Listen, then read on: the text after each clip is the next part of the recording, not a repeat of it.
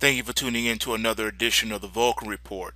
This is the end of day report for trading on June the 20th, 2006, Monday. The market did very interesting things. Monday morning, people woke up to the futures on the Dow being up 200 points. Here's the gap right here. And as you can see, that gap was not filled today.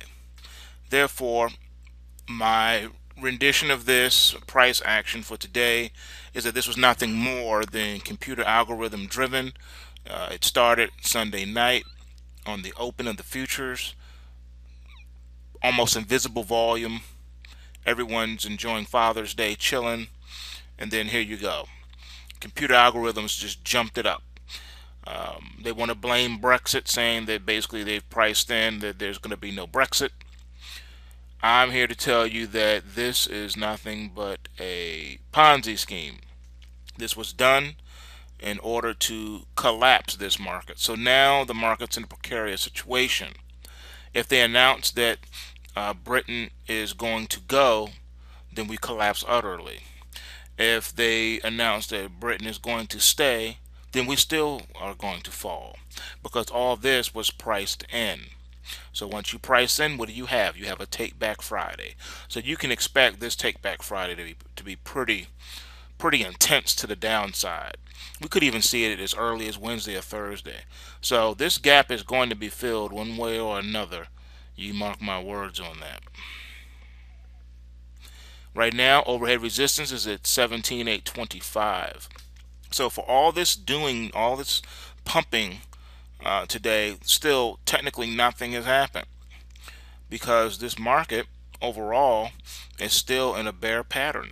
All right, so still nothing to write home about. All you did was try to save it. It just bounced off the trend line there, and that's about it. But I'll show you a little bit more. Taking a look at the dollar, as you can see, the dollar continued its descent. All right, and you have a gap down here on the dollar. So what does this usually tell us? It tells us that basically, just as I showed you last week, that the markets are being controlled and rigged to a point. Uh, a thing that should be noted is that the Bitcoin pulled back drastically as well. So it's following suit. It's still following suit with the dollar. It's basically pegged itself to the dollar, which is not supposed to happen if Bitcoin is truly an independent currency, but it's not, as I've demonstrated before, and I will go into more depth with that in an upcoming video. Um, I caught some some uh, some flack uh, for that video, but you can see here with the dollar index, it's continuing its, decline, and so is the Bitcoin. Um, basically, what you have is a situ situation where the central banks are propping up um, the dollar to the best of their ability and they're propping up the stock market. And in, in doing so they're smacking the Bitcoin and they're smacking the gold and silver market in the process. I'll show you what I mean. Here we are. Alright so you can see here's the silver. They kept it at bay as long as they could. Then they couldn't hold it anymore. It popped. They beat it back down and then it's popping again. They're, they're having more trouble and a hard time keeping the silver down. All right, so this silver is setting itself up for an explosive move higher before the weekend. I think we're going to get, uh, we're going to close above $18 uh, by the end of the week here in the silver. All right, similar situation uh, brewing in the gold. Gold is setting itself up for explosive move higher too. I do believe we're going to close above 1310 uh, by week's end in the gold as well. Very well supported at 1284.40 right now. And this mar market is pulse waving uh, positive right now.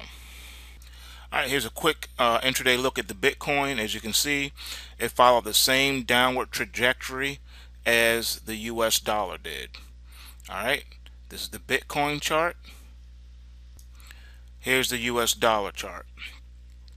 Downward trajectory. Bitcoin chart, downward trajectory. Same identical charts. That should let you know who's operating and doing what with what. It's right here follow the money. The proof is in the pudding. Finally, while they were beating, uh, allowing the dollar to go down and, and combating, trying to combat the precious metals in the Bitcoin, they released the constraints on the crude oil and it just went straight up today. As you can see, the petrodollar wins the day.